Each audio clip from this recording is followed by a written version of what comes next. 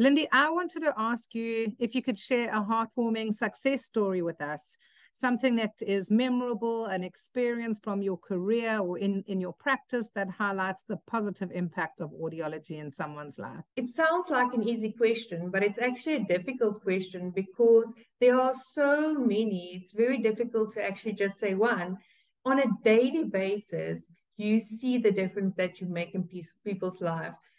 People telling you that suddenly I can go to the golfing range again and have interaction with my um, with all the people that I play with. I don't have that you know that long um, hole at the end of the of the golfing range where you can spend a few hours. I don't have to avoid that again. I can go into the golfing club and have a conversation. I can have jokes with my family members again. But if there's something specific that I can think about now, I had one patient, my secretary actually warned me about him. She said, he always looks cross and anxious.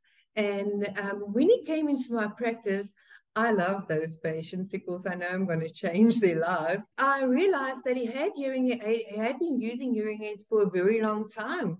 But if I say used, he only wore them to church. Okay, he haven't had the hearing aid service, he haven't had his yearly hearing test or anything like that. So we started the whole process afresh. We reprogrammed his hearing aids, went in for a service, and he was as happy as a bee when he walked out of my practice. About two weeks later, he pitched up with this present, and his whole personality changed. He came into my office and he told me, Lindi, my brother, at, at his end, he couldn't care for himself anymore.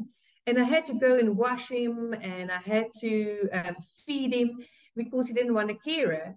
And at this end, he said, You will never know how much you changed my life. And you made me feel like my brother. You will never know how much I changed, you changed my life.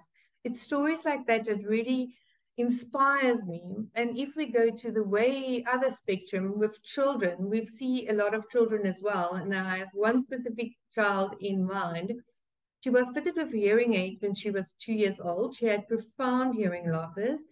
And we walked a path with her because I'm a speech therapist as well. And now that child is in a mainstream school, she's excelling academically. So it's stuff like that that really gives quality to life back.